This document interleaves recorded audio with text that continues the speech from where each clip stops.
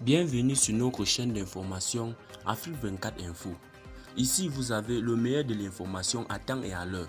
N'hésitez pas de vous abonner à la chaîne si cela n'est pas encore fait et surtout d'activer la cloche de notification pour ne pas manquer nos prochaines publications. On commence.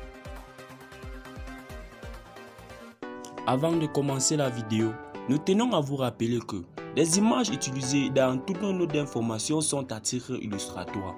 Nous vous invitons donc à rester poli et courtois dans l'espace commentaire au risque de voir vos commentaires tout simplement supprimés. Merci et bon visionnage à tous.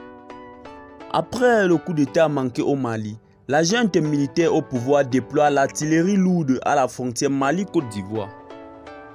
Les forces de défense et de sécurité maliens et leurs partenaires russes sont sur les dents.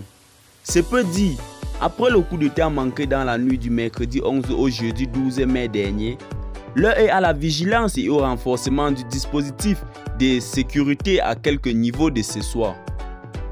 Les autorités maliennes qui sont convaincues que l'ennemi peut venir de la Côte d'Ivoire en raison des relations exécrables que les deux pays entretiennent depuis plusieurs mois.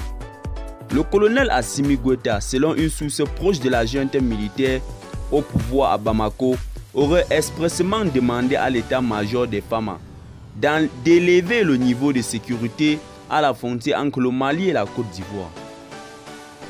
Ainsi donc, depuis le 11 mai dernier, date du coup d'État manqué, des mesures de sécurité entre Bamako et Abidjan ont été renforcées, selon nos ressources installées dans la capitale malienne. Il en va de même relevé tel que du dispositif entre le Mali et le Burkina Faso. Des avions de combat et de surveillance nouvellement acquis chez les partenaires russes ont, également été déployés aux frontières des pays voisins. Toujours selon nos ressources, aux dernières nouvelles, la situation serait sous contrôle à la junte militaire au pouvoir à Bamako. Eh bien, très chers auditeurs, qu'en pensez-vous de ce coup d'État manqué au Mali? Est-il possible que la Côte d'Ivoire soit derrière ou le Burkina? Ou alors la France? Laissez-nous vos avis en commentaire. C'est ici que nos blogs d'information s'achèvent. N'hésitez pas de vous abonner à la chaîne si cela n'est pas encore fait et surtout d'activer la cloche de notification pour ne plus manquer nos prochaines publications. Restez connectés sur Africa, Africa 24 Info. Bye bye.